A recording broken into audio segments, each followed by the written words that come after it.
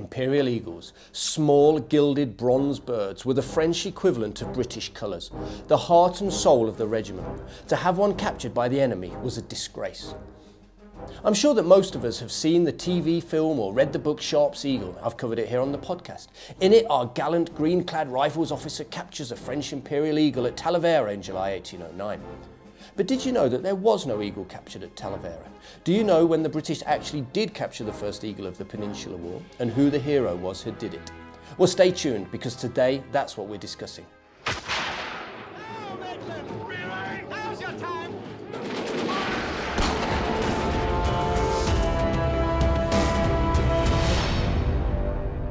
This is a real tale of daring do and bravery. The capture of the eagle takes place during a battle I haven't actually covered on the podcast, the Battle of Barossa, fought in southern Spain in March 1811.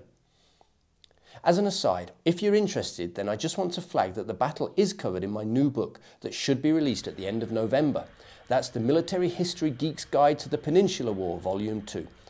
It covers the battles of Busaco, Barossa, Fuentes de Oñoro and Albuera, amongst others. Please subscribe to my mailing list over at redcoathistory.com slash newsletter to find out more and keep up to date. In early 1811, as Wellington pushed the French out of Portugal, British and Portuguese troops were also engaged in another theatre of the Peninsular War, the Siege of Cadiz. Here they were helping the Spanish to defend their temporary capital against the might of Marshal Victor's French troops. If Cadiz fell, then so would any organised Spanish resistance in the peninsula, and that would be a disaster. Commanding the British forces there was a fascinating character, Lieutenant General Sir Thomas Graham. Graham was a Scottish laird who had quit the easy life of a landowning gentleman to fight the French after the death of his wife in 1792. She had died on a boat off the south of France, and while escorting her body home for burial, Graham was accosted by French revolutionaries who opened the coffin and disturbed her body. Angered and upset, he decided to dedicate his life to fighting the French. As dedications go, that's a pretty good one. He volunteered for action at the Siege of Toulon and then raised the 90th Regiment of Foot, the Perthshire Volunteers. Over the succeeding years, he saw action at the Siege of Malta, served in the West Indies, and was alongside the great Sir John Moore during the arduous retreat to Corunna. It was an impressive CV for a soldier who hadn't even donned a uniform until he was in his 40s. Now, I don't want to dwell for too long on the siege of Cadiz itself, as I want to try and get straight into the action. Suffice it to say that this, as was often the case, was very difficult working alongside the Spanish. It, they really had their challenges. They were brave men, but often the Spanish commanders were incapable of effectively leading their troops. That was certainly the case during the Battle of Barossa. Anyway, after much back and forth, it was finally decided to launch an expedition from Cadiz to relieve the siege. On February the 21st, 1811, the expedition set sail from Cadiz with a plan to land nearly 14,000 men, 4,000 of them British, further along the coast and then attack the French in the rear. It was a risky strategy, and General Graham, for the sake of good relations with the Spanish, agreed to be subordinate of General Manuel La Peña. Sadly, La Peña was a poor soldier of limited ability and frayed nerves. Even his own men called him Lady Manuela due to his unwillingness to meet the French in battle. Things quickly went wrong for the expedition. Bad weather meant that they couldn't land where they wanted. And then the local guides proved to be useless, meaning that the troops became exhausted as they marched backwards and forwards across the sandy terrain. On the 5th of March 1811, there was finally a battle. Except by now, the French had had plenty of time to prepare their own plans. The principal engagement took place that day on the Barossa Heights, thinly held by a patchwork battalion of British flank companies. Outnumbered and abandoned by their Spanish allies, they were forced to withdraw, only to find an irate General Graham waiting for them at the bottom of the hill.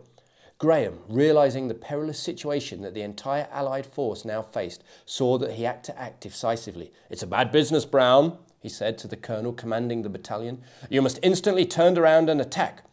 An attack they did. Outnumbered and outgunned, they fought their way back to the top of the ridge, buying precious time for Graham to get the rest of the men deployed. And now we're coming to the capture of the Eagle. Further north, on the British left flank, Colonel William Wheatley's brigade was emerging from the woods to tackle General Jean-Francois Laval's division. Amongst the British were the Irishmen of the 2nd 87th Regiment of Foot, that's the 2nd Battalion 87th, commanded by Major Hugh Gough. They rushed forward with their Gaelic rousing battle cry of Faugh a Ballagh. Apologies for my pronunciation. That means clear the way. The redcoats smashed into the Frenchmen of the 8th line, who were still in column formation and couldn't get away. It was a brutal fight. The Irishmen in a furious rage and keen for blood. Ensign Edward Keogh at the forefront of the attack looked through the drifting smoke and spotted the top of a French eagle standard, its gold plating glinting in the sun. Keogh called to Sergeant Patrick Masterson, and together they waded into the fray, the young ensign swinging his sword with deadly precision. Edward Fraser, in his book The Soldiers Whom Wellington Led, describes what happened next. At once he closed with the Frenchman and crossed swords with his left hand, making a grab at the pole.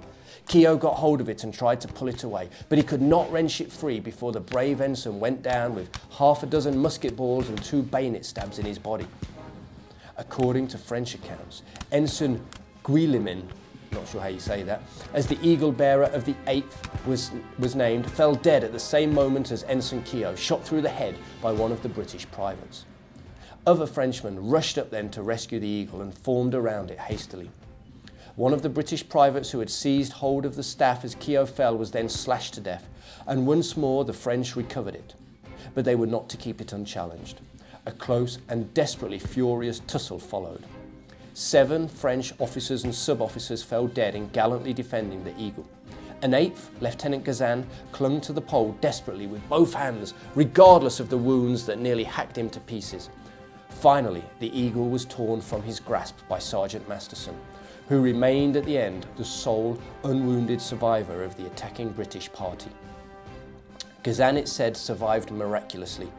We are told, and he lived to be decorated by Napoleon for his devoted courage. Sergeant Masterson carried the eagle off and kept it. End quote. As Sergeant Masterson waved his trophy in the air, it's claimed he shouted the wonderful quote, But Bejabers boys, I've got the cuckoo. I wish I could do that justice with an Irish accent. It was the first eagle the British had captured during the Peninsular War. With the capture of the eagle, the French began to break and the battle was won. It had been a terrific victory by a small British force, unsupported by their allies and heavily outnumbered. But despite everything, the goals of the expedition had not been achieved, and the force marched back into Cadiz, having had little effect on the strategic situation. The triumphant Sergeant Sergeant Patrick Masterson was, was rewarded for his valour with a commission to the rank of ensign. He remained in the army, eventually becoming a captain and retiring in 1828. As an interesting aside, Patrick Masterson's descendant, James Masterson, I'm presuming based on the dates that that must have been his grandson, although I could be wrong, became an officer in the Devonshire Regiment and he won a Victoria Cross at the Siege of Ladysmith during the Second Anglo-Boer War. A nice South African connection there for me. So I hope you enjoyed that mini episode, guys. I should have covered the battle earlier in the season in more detail, but I hope that this makes up for it. It's a small attempt, but I hope you like it. At least we can now celebrate the Masterson family and their amazing bravery across the generations. If you've enjoyed this episode, then please comment and share the link as it really helps to spread the word and bring these amazing stories of our Redcoat ancestors to a wider audience, something that I believe is really important. All right, take care guys, bye-bye.